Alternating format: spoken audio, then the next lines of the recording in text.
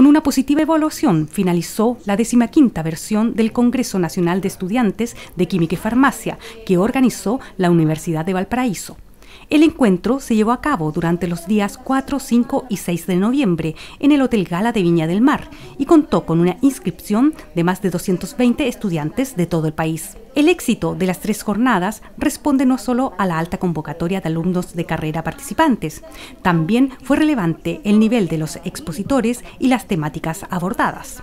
Entre los temas que destacaron figuran aquellas de índole profesional, como demandas sociales en salud y las implicancias en la formación de profesional de químicos farmacéuticos en Chile, farmacéuticos en acción, emergencia, catástrofes y ayuda social, y medicamentos de alto costo y acceso al igual que aquellas de investigación y desarrollo, como farmacopea chilena, una herramienta fundamental para garantizar la calidad de los medicamentos, terapias avanzadas basada en células madre autólogas y uso medicinal de la marihuana, avance o retroceso en la salud pública chilena, todas ellas temáticas de plena contingencia. Quiero felicitar obviamente la iniciativa que ha tenido eh, la Universidad del Paraíso en el contexto obviamente de este Encuentro Nacional de Estudiantes de Química y Farmacia, de poder incluir dentro de sus distintos eh, módulos de debate o mesas redondas eh, un tema tan actual como es precisamente el avance en términos de despenalizar el uso de la cannabis tanto terapéutica como también desde el punto de vista recreativo.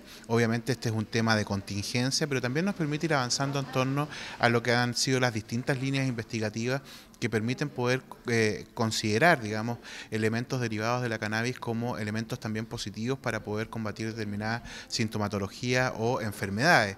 Hay mucho acerca de lo bueno y lo malo del, del cannabis. De hecho, el cannabis se viene usando medicinalmente en 1200 a.C.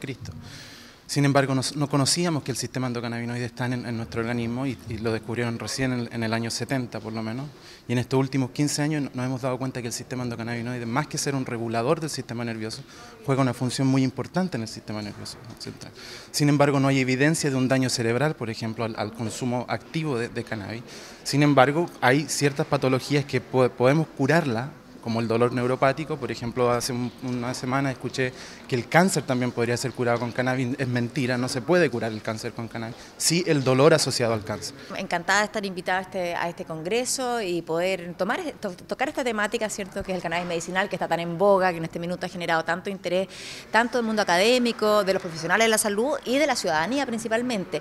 Así que lo que venimos a exponer nosotros acá tiene que ver eh, justamente con eh, la mirada que tenemos en relación al vínculo que puede haber entre cannabis medicinal y la salud pública, cómo la salud pública se puede beneficiar absolutamente eh, con incorporar esta terapia complementaria que es segura, que es eficaz y de bajo costo. Los panelistas invitados a la mesa redonda sobre el uso terapéutico de la cannabis coincidieron con el buen nivel de la organización del Congreso.